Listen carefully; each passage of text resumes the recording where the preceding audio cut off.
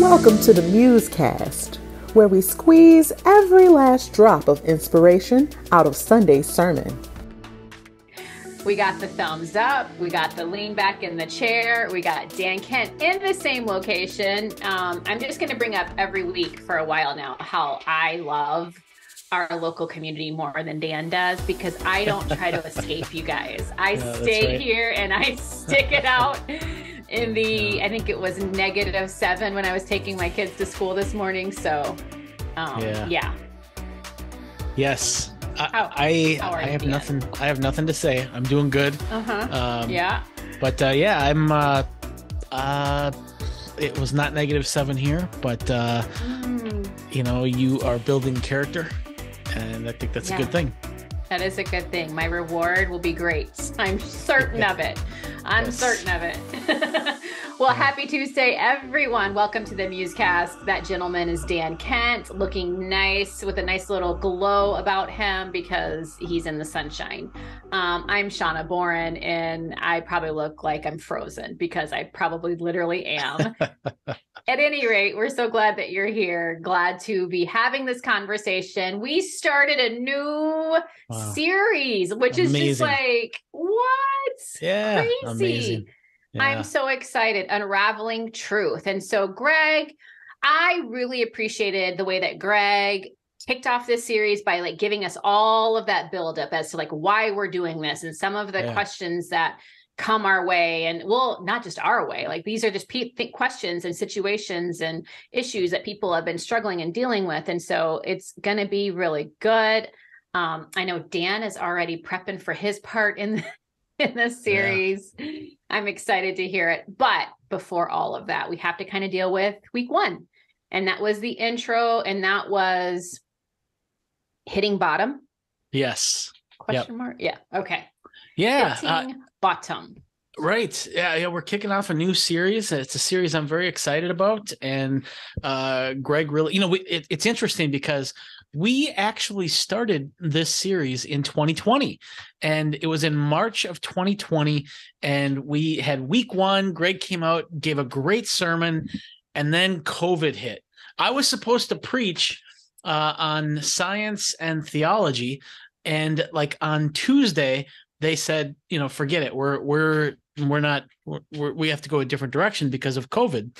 And so we totally like blew up the series, just left it dangling there uh, for you know almost three years. It's been just waiting in the ether for COVID to you know change, and uh, and now we're we're back at it again, and it's so exciting to be back at it.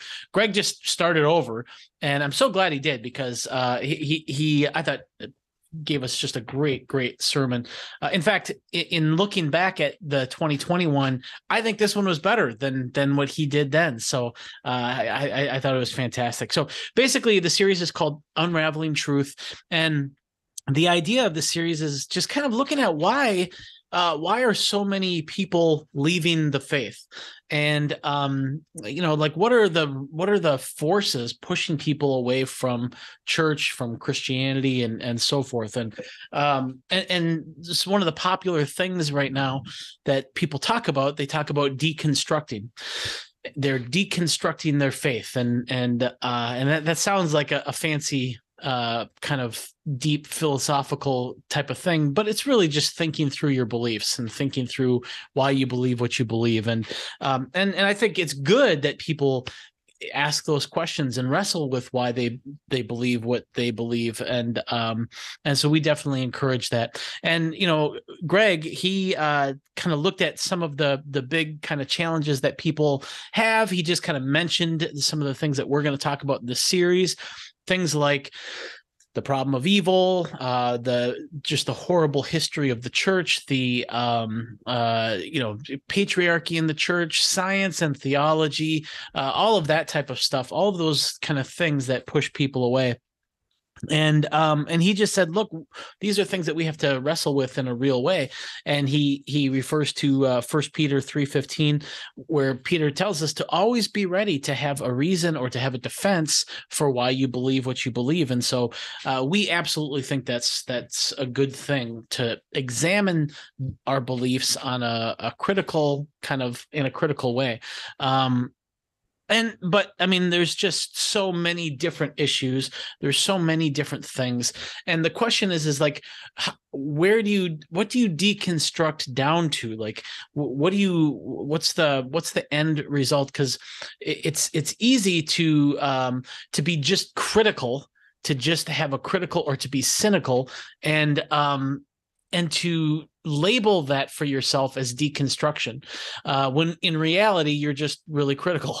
And uh, and, and so crit- being critical for the sake of being critical doesn't do anyone any good. And so the question is is what's the what's the end result of this? And and so greg kind of titled his sermon hitting bottom and, and he just said for him when he deconstructs his belief he has these foundations that he that he comes to uh, time and time again.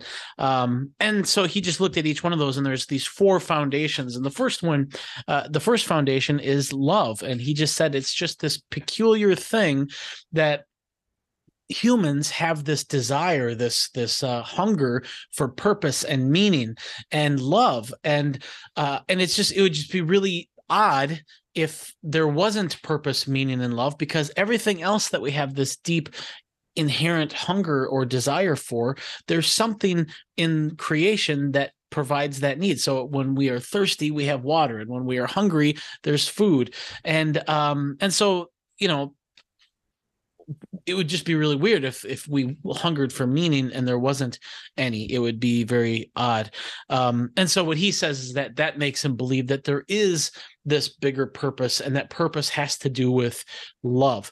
And that leads to his second kind of foundation which is that if there is this purpose well then purpose by definition involves intention. And so there must be a purposer uh, that is there has to be a source of this purpose. And since the purpose is love that ultimate kind of source of purpose must be relational. And then that leads to his third foundation, which is that if ultimate reality is relational, um, and if it's about love, then that ultimate reality should have communicated with us in some way. And um, and if it's about love, then how interesting that we have this story, this greatest conceivable love story that we have in Jesus, um, that talks about God and love and all of these things on just this kind of um, you know unsurpassable level. And it just so happens that there's really good reasons for thinking that that story is actually true. And if that story is actually true that that leads to the fourth kind of foundation uh, and that is that jesus uh, basically affirms the bible the scriptures as divine revelation as an authority. And so the fourth foundation is that uh, we have good reason to think that the scripture is an important authority.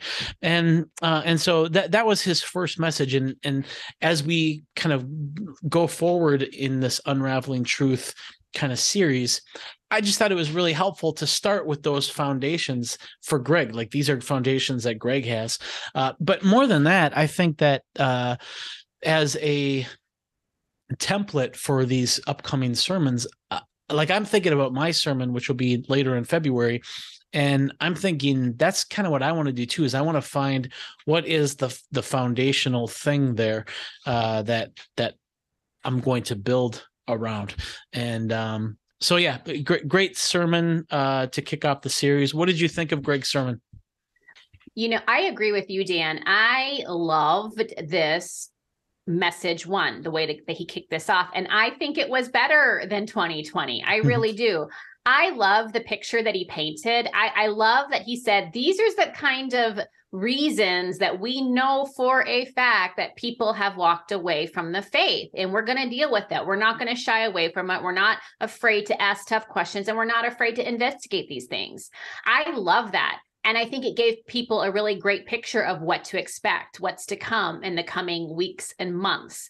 Um, it's interesting because I know that deconstruction is a big thing, and I'm not bagging on that. I think people do need to ask questions, but I agree with you that, like, to what end? Like, hopefully, there is an, an end goal, um, and it's not just for the sake of complaining. You can literally go on TikTok, and there's a whole hashtag um, for deconstruction and i i think that um, it's it's it's good and healthy hopefully it's done within community and it's done um, with through the lens of who Jesus really is and who God truly is, you know, because I think so many other things get mucked up in it.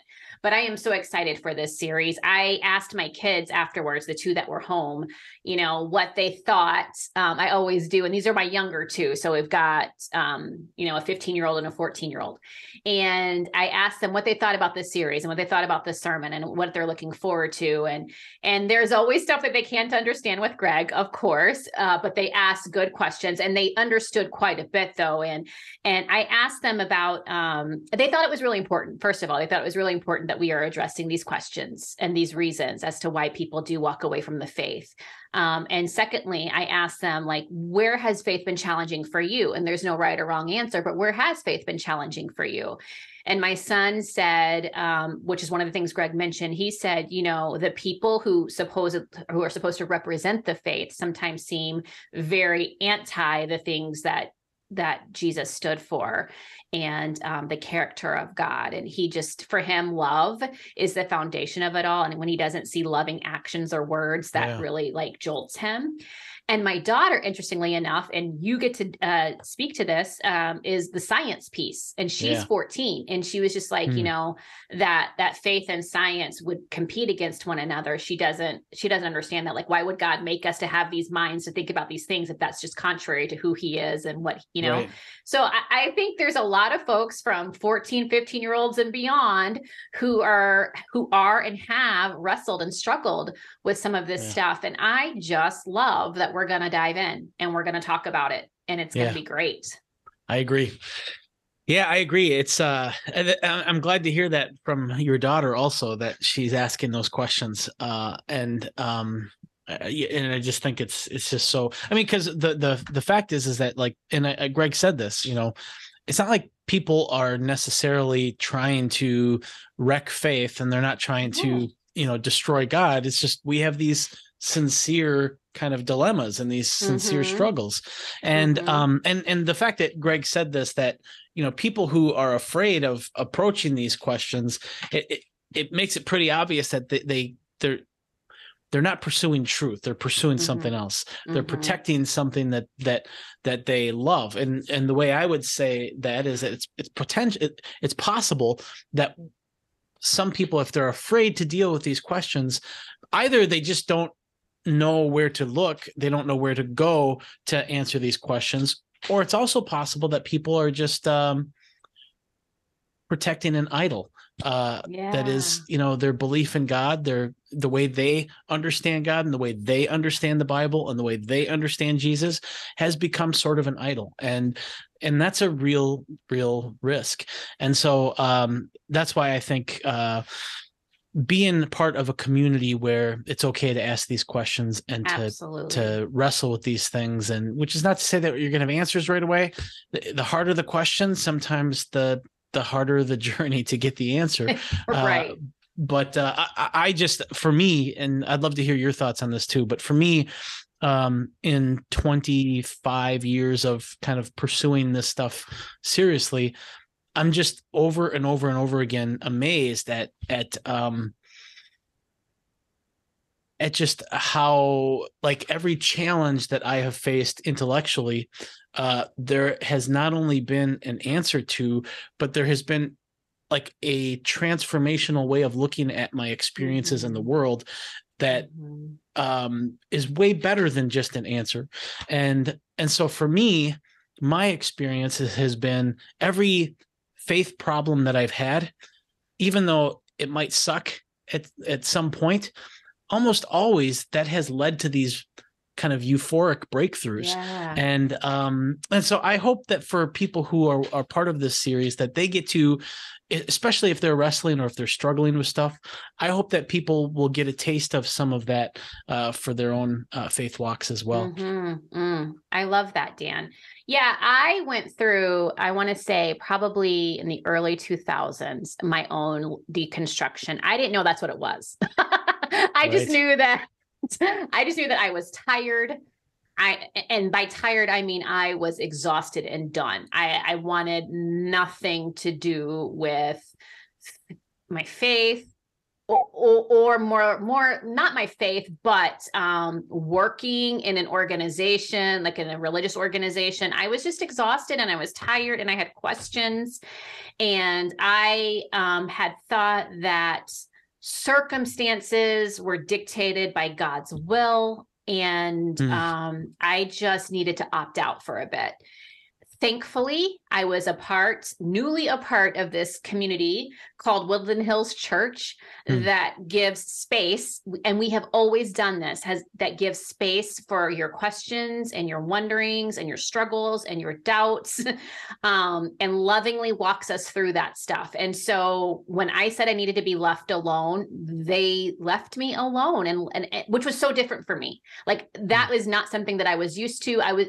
i was used to no we got to confront this we have to dig deep we have to like right. hold you accountable like they really allowed me space to just and to just just just be and figure out god on my own and through that process i remember saying uh, when we came up to be a part of woodland hills actually my husband was going on staff and i remember saying i want nothing to do with it I'll go, of course, that's important, but I don't want to be known. I don't want to be like I don't want to do anything. I don't want to and um they were like, great, like you do what you need to do. You know, I was a young mom, or I shouldn't say young mom, a mom of young kiddos, and um, they were just great with that. And I think I think within three months I was I was working on staff at the church, not because of anything they forced upon me, but because of the freedom that I felt. And in that hmm. time, just beginning to rediscover who God truly is and what it means to be a part of his family and to sure. be a part of a community that is striving to love and serve him. And yeah. and through that freedom came this amazing breakthrough and this discovery of what true picture of God, which is so foundational. We always circle back to it. But that for me, like I said, I didn't know I was deconstructing, but I really was. And what was built out of that was a purer, more rich, um, more loving uh, relationship with the Lord. Um, and he met me in ways I never could have imagined. And so I'm so thankful. Yeah. Hmm. The tough, yeah. the toughness of it all. I'm so thankful for it because of the end result. Yeah. Oh, that's good. It's funny that you say that uh, I didn't know it was called deconstruction. It's like, well, you know, my, my, buddy Randy and I, you know, we were uh, roommates in college and we were both philosophy majors and um and this was back when Greg was still teaching at Bethel and you know, we we like every every evening randy and i we would talk about like you know free will and fatalism and t- determinism and the nature of time and just these big deep philosophical issues. And we would look at all of these theological explanations and and we would assess you know the the you know flaws in certain theological perspectives and so forth. And it's like you know we would never call what we were doing deconstruction. It's just thinking. right, it's right. that's it. We're just thinking. But you know, and and that's where I, I really think this. You know, now that I put it that way, in, in the same way that a person who is afraid to assess their their beliefs, they might be protecting an idol. In the same way that calling something as simple as thinking this special brand this i'm deconstructing that could be indicative that that is becoming an idol also mm-hmm. and uh, and i think that that's a real danger that that it's it's especially with social media and, and i noticed yeah. this this is a total rabbit trail by the way but i, I just I, I, tell you what, I noticed this early on in Twitter, and I have a, a couple tweets that I tweeted too, just kind of making fun of this. Is I noticed that Twitter like I want to have something to say, you know, on social media. And almost always the impulse is to find something to complain about mm. and to be mm. critical about something because that gets engagement. And uh and I realized that really early on like we are getting reinforced to complain and be critical and it mm-hmm. i don't think it's a coincidence that as social media has grown so exponentially over the last 15 years that we've also seen this uh, exponential growth in deconstructing which can be very sincere but i think it can also be a costume for this uh, critical heart and it could be an idol of of being critical. And um and so i, I think uh yeah it's just something to think about as we're going through these these uh, important issues. Absolutely. I think um whether I, I again posture of your heart i think is going to be so key. Why are we asking certain questions? Why do we feel the need to pick certain things apart? Now for some it there are real valid, serious reasons. Greg listed many of them.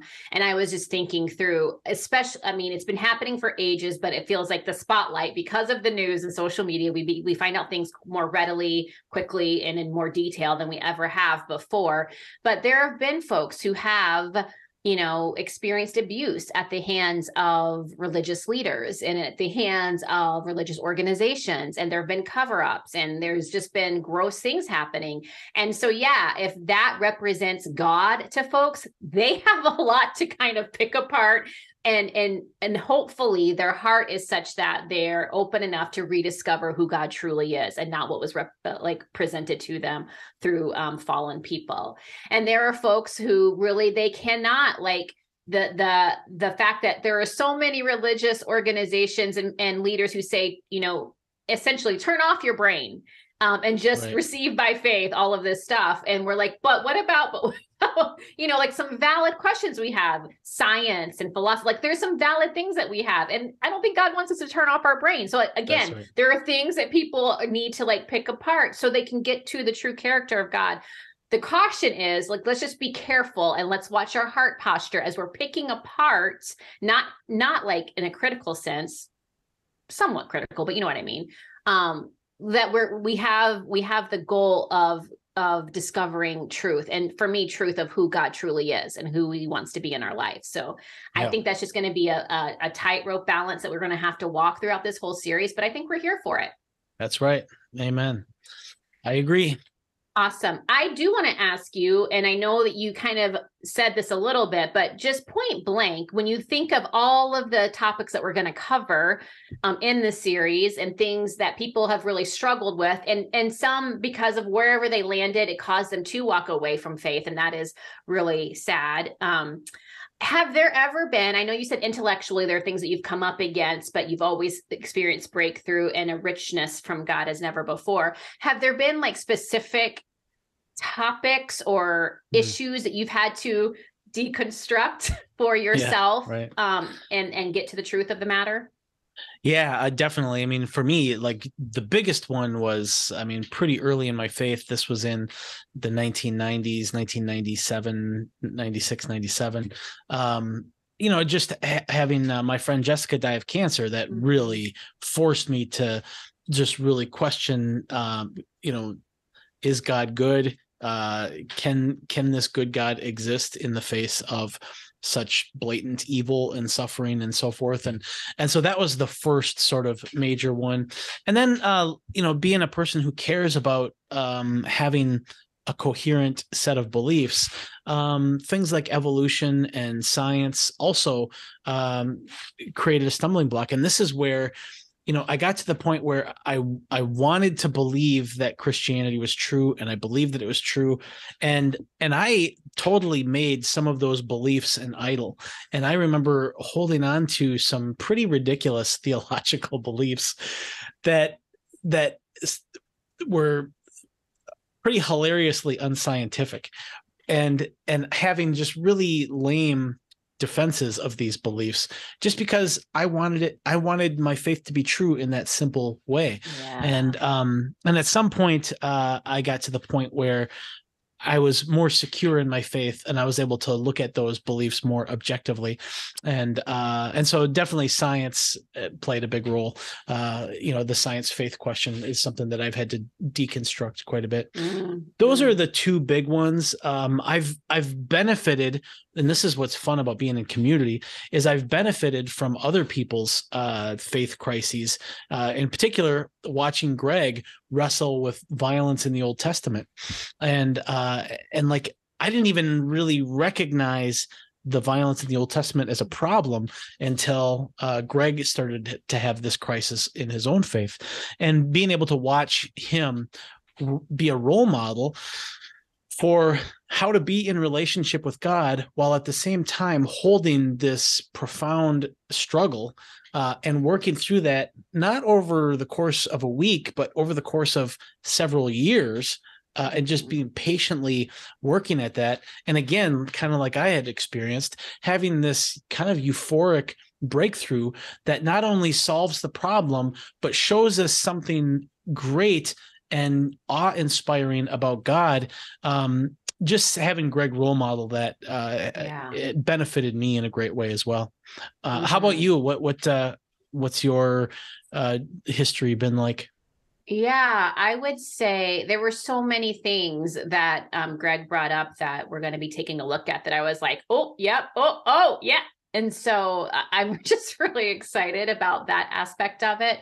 Um, but I, I would say number one, not like in order of importance, but number one, I too, I, I don't know if I was just I just didn't deal with it. Like the Old Testament, the violence that you see there, I just didn't deal with it to the extent that I just didn't know that it was a an issue that I had to deal with in my life here and now. I just kind of I, I don't know what I did. I don't know if I hmm. had my head in the sand. I don't know if I just thought, well, you know, there was probably a little bit of like, well, that was God's way, but when Jesus came, he brought the should have new what, you know, I just right. um I didn't want to go pulling at that thread too much because I was kind of afraid of what I would find. Yeah. um and I so appreciate like you just said, I appreciate being um a witness to the journey of Greg and our church and our leaders and our teams of this of non nonviolence and trying to yes look at it yes pull up that thread some and and then see where we land i, I think ultimately for me the beauty and and the the most uh, saving grace for me has been that even as we were pulling at threads I don't have to question God. And before that wasn't always the case. I thought if I had questions, that meant I was questioning him and it was like I had to make a choice. And that's not the and even if I am questioning God, he's not like he's not yeah. afraid of that. Like he's he's secure. That's so right. Eh, that's just that's been huge for me. And I would say free will um and you know crap happening in the world, you know, the the whole like did God ordain or do we have free? You know, that has been huge because I grew up more of the mindset of if you do A, B, and C correctly, then the blessings follow. And mm. if hmm. something bad happens, oof, what oof, where where did you slip up? You know, yeah, right. how did you take yourself out from under his protection kind of thing? Um, and I'm not saying that's all wrong or all bad. I'm just saying that can really like rock with your world when when when bad things happen or when you see god-fearing good people experience tragedy like yeah. so yeah again picture of god that was that was really huge for me mm. and then i would just say overall just the ability again to question to ask questions to to struggle with stuff um and and and that be okay like there was no risking of my security with him because i was struggling so um yeah that's yeah. good hmm. yeah that's great we did get a question in, Dan, from cool. one of our viewers. So I think this is a great time to look into that. I'm going to pull it up now. And it was a great question. Okay. Uh, this is from Rachel. And oh, I just lost it, Dan. Uh oh. Just, you know, filibuster for a moment. Well, yeah. Um, if you want, I can uh, send it to you. I think I could access it. Yeah, could you? I don't know what just happened. Yeah.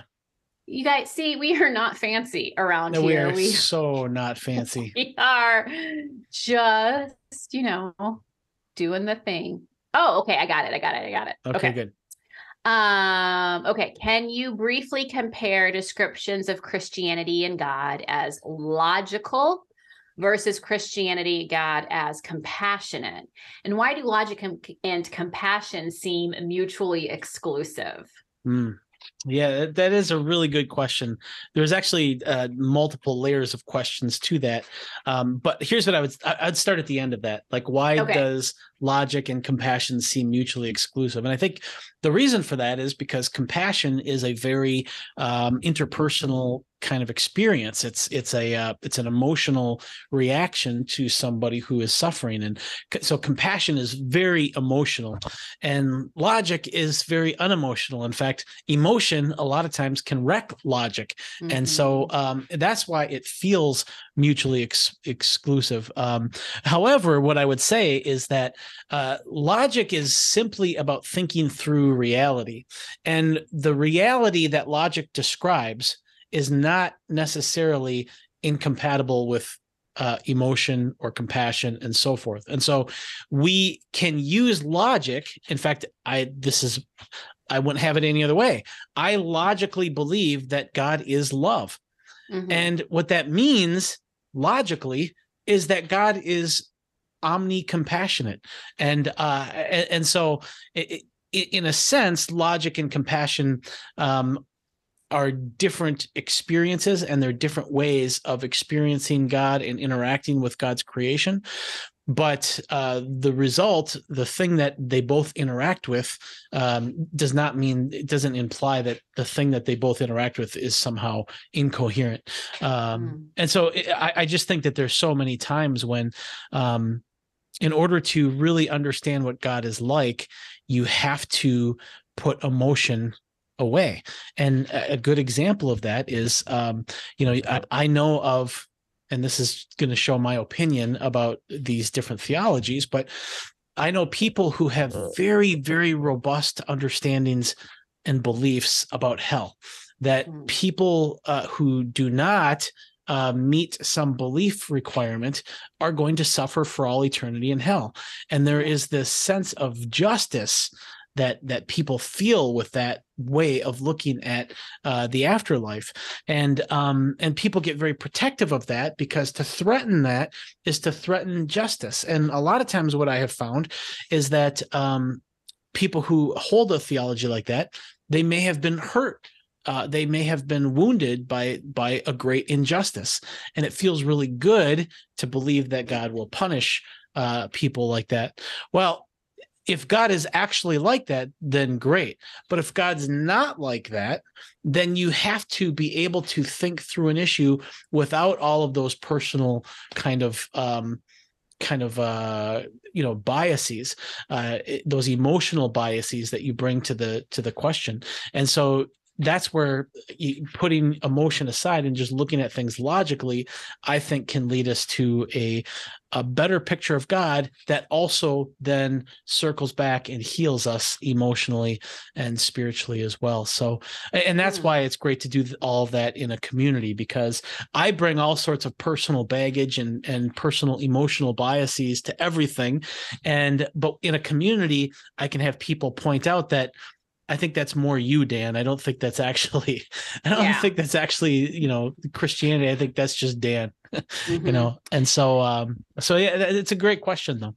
It is a great question. I'm so thankful to Rachel for sending it in. I think sometimes we, we forget we just forget how creative and intelligent God is because like we know folks like I know like one of my kids is uber logical right? And another one is uh, like an uber feeler. And so we kind of like put those like binaries on God. Like he's either all this or he's all that. And that's just like he's more creative than that. He's more intelligent than that. And there is a that's marriage right. of those things. But I do agree. I think sometimes we do especially if we're feeling passionate like we passionately need to defend something if we know like you know what like riles you up you know what or like and if and if that's the case if you're ever going to hope to see another perspective or another side you have to be willing to tamper that a little bit. I'm not saying don't be you but just recognize okay this is something i'm really passionate about this is something i believe strongly um, i feel like i'm right in this and everyone else is wrong if they feel differently. However because I value living in community and because I value the the possibility that I could not be seeing something I want to hear. That's right. I want to hear from others who see it differently. And so that does take a bit of humility and it does take a bit of like recognizing who I am and saying, okay, I'm going to not allow myself to get riled up about this so that I can engage someone um, who has a different perspective and i think that's, that's really right. important to have those people in your life like to not just be in you know a silo of of um, same thinkers and believers mm-hmm. but i think it's really good and again don't be threatened by that because god certainly isn't that's right Yep. Okay. Amen. Amen. Well, Dan, I, I do think we have talked a lot about what we're excited about coming up. And I feel like we've talked really well about what we heard and, and kind of why we're doing this series. And so that really just leads me to the part of our show, which we lovingly refer to as nugget time. Woohoo! Nugget time. Yay. And as you are preparing your nugget, Dan, I have to say to you, this is a total rabbit trail, but I have to say to you, I think I've told you before how my kids have said Dan looks like Hawkeye, right? Like yeah, I've told you this before. Right. Yeah. I now have confirmation, Dan, because someone who was in service locally came up to me and they were like, Hey, so Dan's out of town, but you guys are still doing Musecast, right? I'm like, Yep, every week. He's like, Great. Tell him every time I see him, I think that guy looks like Hawkeye. So there you go. And I will say, it's probably good that you're down in Florida and not here having to snowplow because yeah. he got you. I mean, damn. Yeah. So you're uh, yeah. uh, you actually you're following the spirit there. You're keeping yourself well, safe. Uh, my my hope is that um the Marvel movie studios will reach out to me to play Hawkeye yes. if he needs more recovery time. I would be happy to do that as long as it's after my sermon in February, I'm, okay. I'm happy to participate in that. I think it would be a bump in pay also uh, to to do that. So a little bit, maybe yeah. maybe just a little bit. I, so, I don't know.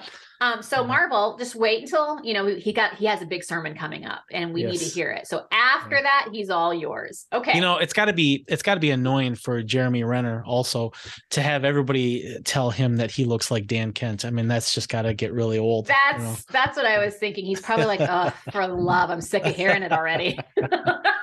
all right. Uh. Back to the regularly scheduled programming yes, yes. of the Musecast and Nugget Time. Dan, you get to go first.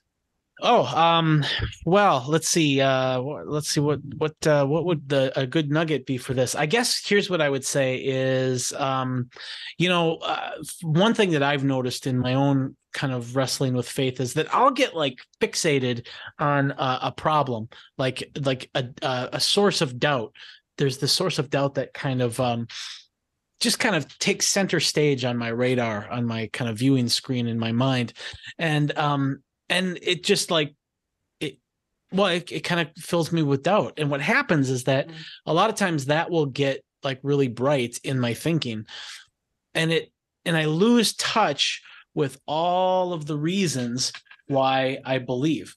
And so mm. it's important as you're wrestling with something that causes doubt to also just like have your your radar on and your you remember all of the things that that fills you with faith and hope mm. that that mm-hmm. uh, kind of originally stilled your heart and captured your imagination and to keep those things uh, in, in, mind and so i guess that would be my my nugget is um, as you as you're wrestling with your doubts um, always remember your faiths mm. I like that, Dan. Actually, my nugget piggybacks onto yours. And I'm just going to tell you guys, I, I think you know, hopefully you know, we don't discuss our nuggets beforehand. Mm. We just, we just kind of see where we keep, things we keep us. our nuggets to ourselves. We know? keep our nuggets to ourselves, close to the vest. Um, but my nugget does relate to Dan's nugget, and that is um, the word, the phrase that came to me was buddy system. Hmm. That's good. and that is like if you know that you are going to be tugging at something and you have some doubts about something and it and who knows where it's going to take you as you begin to unravel that string. It's good to have a buddy that you could say, "Hey, I'm having these questions. I don't know where it's going to take me, so I need someone there to kind of help pull me back if if need be." Um, and ultimately, ultimately not to be cheesy but that buddy is jesus um but hopefully a, a, tangible like real life person in your life as well um i i think it's so important to hang on to him and i have literally said Jesus, I like I've had to verbalize it. Jesus, I love you, but I've got questions. hmm. I love you, but I'm having some hurt and it's making me question and I'm afraid of where this is going to go, but I need you to know that I love you. And even just like stating that, it's like it grounds me and then it's okay to go down the rabbit hole as it were. Um, but even even um more helpful in a lot of ways is to have like a physical person like i said the buddy system. I had the privilege of speaking with our echo students our youth ministry this last hmm. week and we were talking about the, these questions and i just said you know what? It's okay to question. God's not afraid of your question. He's not afraid of your doubts. He's not even afraid of you say, if you say forget it. I like i don't want anything to do with it he's not afraid of any of that and his love toward you doesn't change. It's not like determinate upon your faith level and so once you have that as your foundation, you hang on to that, it makes it a little easier to ask those questions because you're going to get like pulled back to your yeah. anchor. So yeah. That's my encouragement. Well, that's, that's awesome. All right. Well, that's cool. Well, that's our show for today. Thanks, you guys, for being here, for tuning in, for sending in questions. Please continue to do so. The link is always going to be um, at the bottom yeah, somewhere. Yes, yeah, it's, going to be over there. Yeah, right there, there, Right yeah. there. Musecast at whchurch.org and come chat with us. Dan forgot us last week. Yeah, that's I, I was. okay. Yeah there's no shame just a little bit of you just know really, a little a little bit, just a, yes. yeah. But come chat with us at 4 p.m and if you can't catch us on youtube you can catch us wherever you get your podcast so you can listen to us um, or watch us on youtube. All right we'll see you guys then. Have a great rest of your week